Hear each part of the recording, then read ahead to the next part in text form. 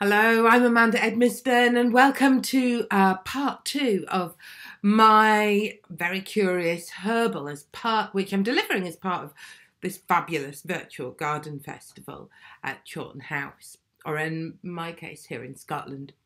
Um, I'm joining you now over afternoon tea, and if you saw the first session, uh, you'll know that I inspired to create this project by the work of an extraordinary woman, Elizabeth Blackwell, who in 1737 became the first woman to publish a herbal. I have chosen for my tea this afternoon some of the plants that Elizabeth was familiar with and drew for her herbal and wrote about. I, as part of this project, what I do is I'm, I, I look at the work Elizabeth created and I use it to take me on the journey to look at the legends surrounding those plants, how they were used in the early 18th century and how we use them now. Um, what Elizabeth's experience of those plants would have been, the bit of the social history of the time and how it still um, is important to us today. Because this is a time of huge leaps and bounds in botany. As I mentioned earlier, this was a time when a vast array of plants were just being seen for the very first time on the British Isles. The great plant collectors had travelled afar, and Sir Hans Sloane, who was one of Elizabeth Blackwell's supporters, um, is credited, for example, with bringing chocolate over to Britain. Now, I did have chocolate cake for my afternoon tea, but uh, someone round here has made off with it. Hopefully, you've got some chocolate cake. Maybe you realise more during lockdown quite how important, valuable those tastes are. How they're not something maybe that we should be eating every day. This was so some, something Sir Hans Sloane would have been familiar with and may well have shared with Elizabeth Blackwell as he shared the recipe for hot chocolate, or so we're told, um, uh, with the people he met in Britain. It's said, in fact, that he actually got a huge mass of his fortune by selling the recipe for chocolate that he learned from people in the Americas. But I think there's a little bit of um, a myth has grown up around that. He was a very successful doctor, as I mentioned earlier, and um, I'm sure he had many sources for his uh, vast wealth. Um, however, what he did do certainly was experience chocolate made the traditional way firsthand.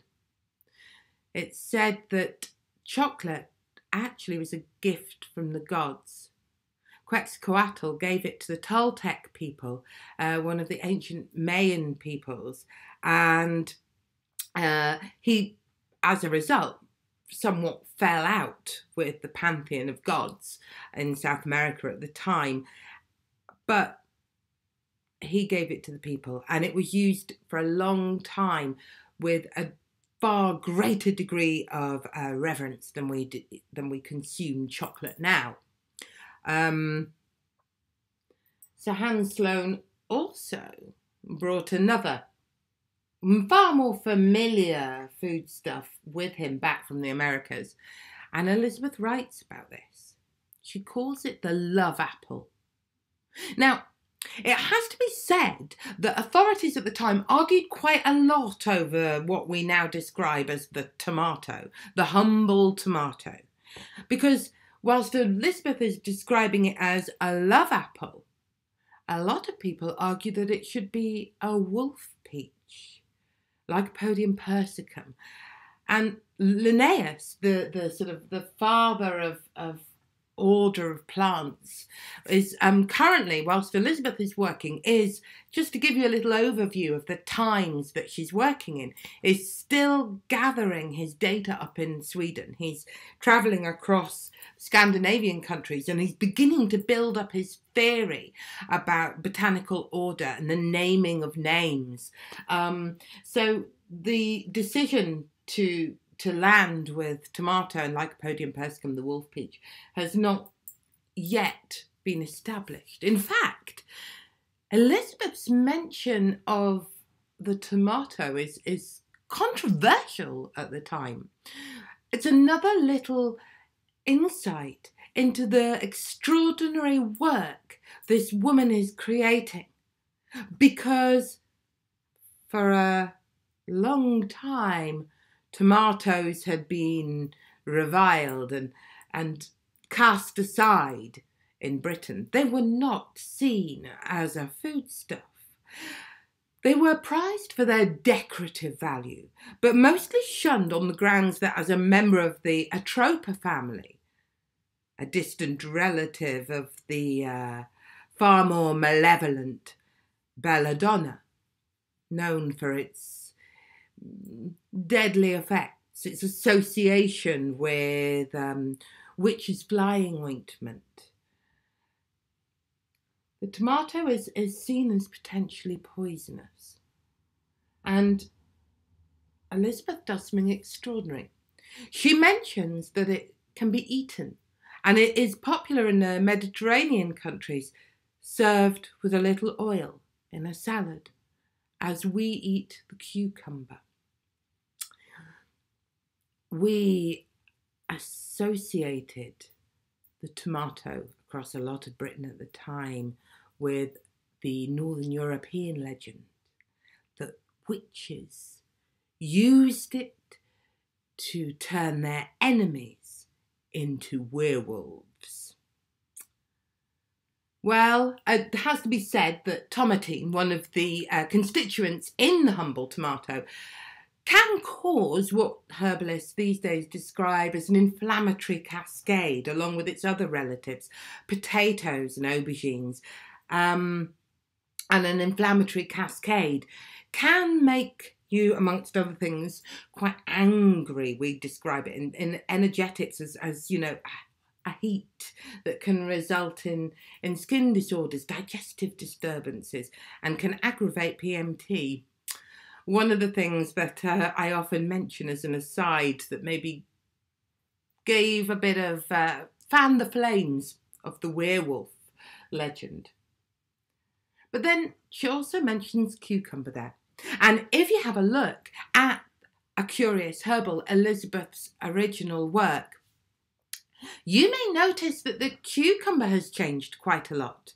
Not in names much, but just its appearance. That long, slim, uniform green fruit that we find en masse in every supermarket. Um, did not resemble that in 1737. It was a lumpy creature. It was uh, differently shaped. We hadn't yet taken to growing it in tubes to uh, that that long, slim uniformity we think of now. In fact, in Elizabeth's day, it was associated with enhancing male fertility. Now, it should also be mentioned as well as changing shape, the cucumber that we're familiar with now is also seedless and it's the seeds that were used medicinally to help enhance um, the male ability to, to bear children um, or to start children off. um, it's just now I please don't let me put you off your tea. Now she does mention that cucumbers are eaten in salads, and she also talks about their ability to be cooling. And whilst as I say, we're now familiar with a bank of cucumbers greeting us as we walk into a greengrocer's. Even the cucumber was still quite an exotic foodstuff in Elizabeth's day. Due to the glass tax, greenhouses were not yet commonplace. Orangeries were really only available to the very wealthy and the elite. And cucumbers would have been very much a status symbol if served up for afternoon tea. Cucumbers had been a status symbol for a very long time by this point. The original greenhouse is said to have been um, created because um, an emperor had coveted them so much that it had his gardeners set up a, a covered bed on wheels so that they could shift it around to catch the sun.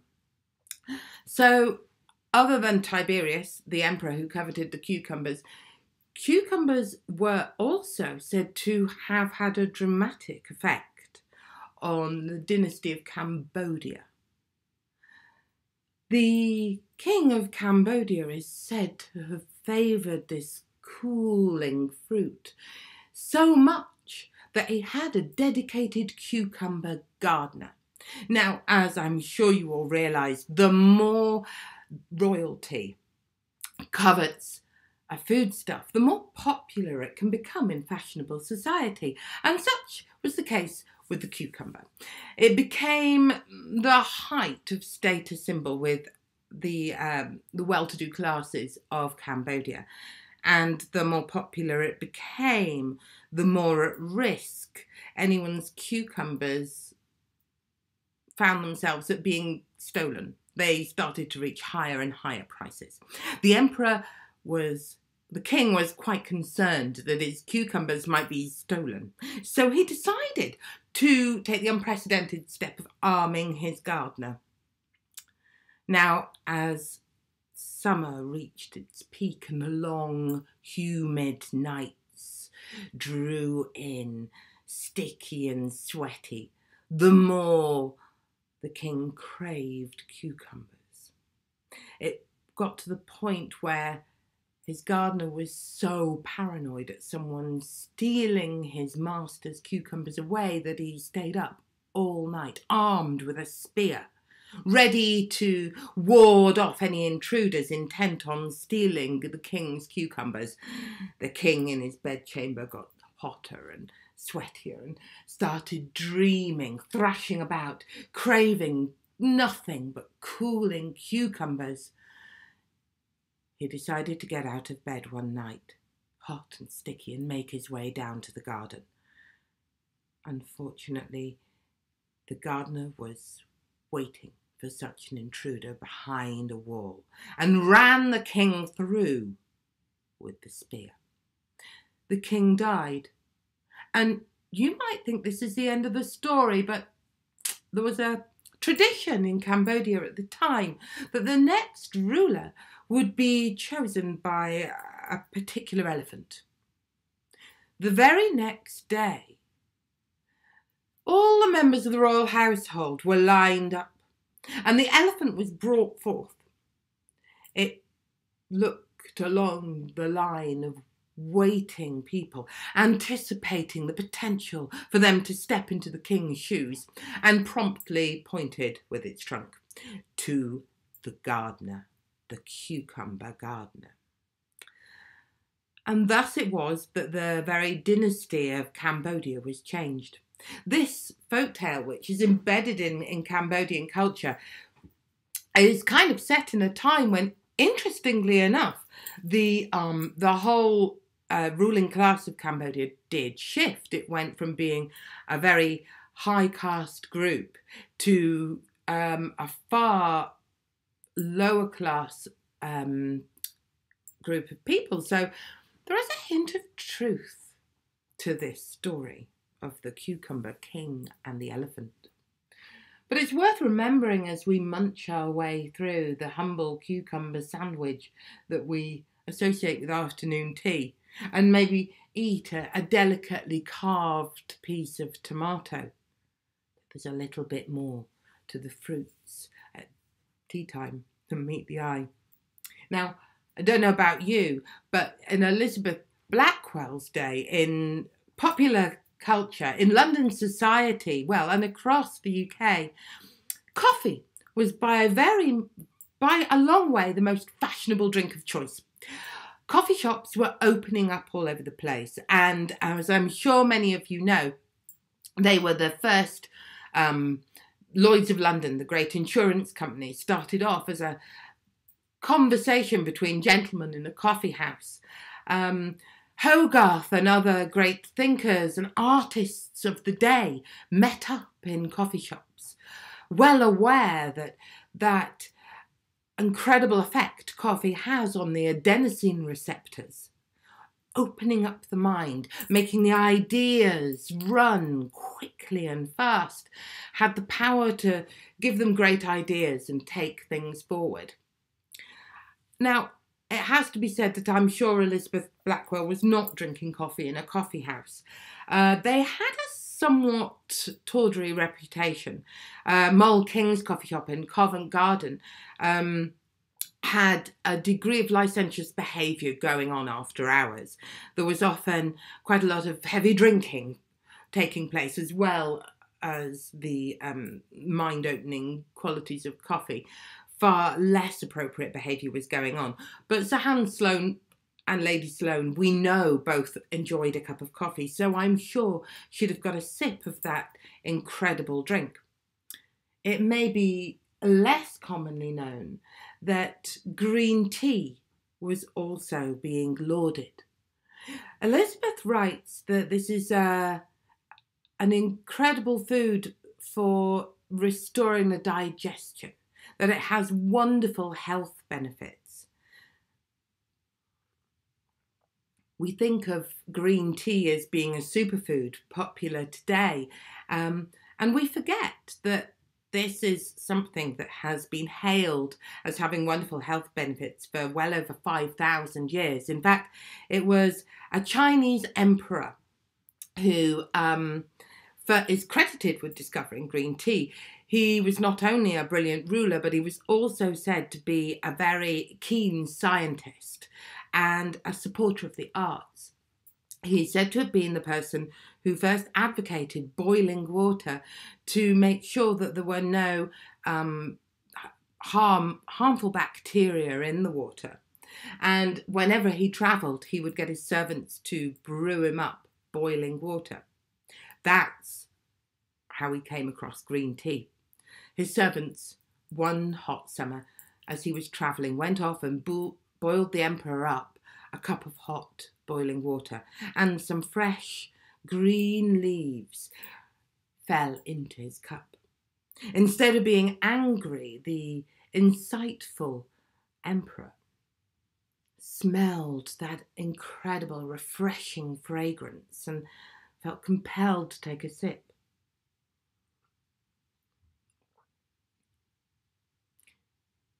He felt it was having a positive effect on his system. And from that day on, he advocated the drinking of green tea. Of course, it's then said to have travelled from China to Japan and eventually to Europe and the Americas. But um, it's interesting to think how many things we forget have been popular for so long. Green tea was enjoyed in Elizabeth Blackwell's day along with coffee. It's not a new story to tell when we claim of its wonderful health benefits. So, to finish off with today, I thought I'd share a look at coffee. For those of you who, who've set aside the green tea and, and prefer the sharp, stimulating effect of a black coffee, I'd love to share how that plant became one that was a popular drink. It started in Ethiopia a very long time ago, and there was a young shepherd boy out herding his goats. He noticed that although many of the animals around him and the people would settle down to sleep in the heat of the midday sun, the goats would turn to the dark red berries of a certain plant and become lively and animated. He decided he would share this bit of information with the monks at his local monastery. He took the berries in and told them about how his goats became animated and playful, and the monks sent for the abbot. He took one look at the goats and pronounced that these were not the work of God, but the work of the devil, and cast them into the fire. Whereupon an amazing aroma was emitted, and the abbot rather hastily said that he'd got it wrong. These were not the work of Satan, these were a gift from God. The berries were grasped out, plunged into cold water to help assuage the heat and preserve their wonderful scent. And as the abbot sipped he thought to himself how useful they may be at allowing his monks to pray and study long into the night and pronounce them a worthy drink. Claudia Roden remarks that they were used in uh, Yemen for hundreds of years um, in in ceremonies and were revered as a as a very special ingredient. And you know they did open up intellectual society in a huge way as Elizabeth Blackwell was working. But um, I'm going to finish off my cup of tea and maybe enjoy my cucumber sandwich. Maybe go and find out what happened to that chocolate cake and make sure that um, my, my children aren't underestimating the importance of chocolate and quite how special it is. Hopefully, you've enjoyed finding out a bit more about the origins of the plants that Elizabeth Blackwell studied and drew. And I will be back for another session later on when we tie in a little bit more of some of the stories surrounding the plants and the times Elizabeth Blackwell was working in. Thank you all very much, and I'll see you later.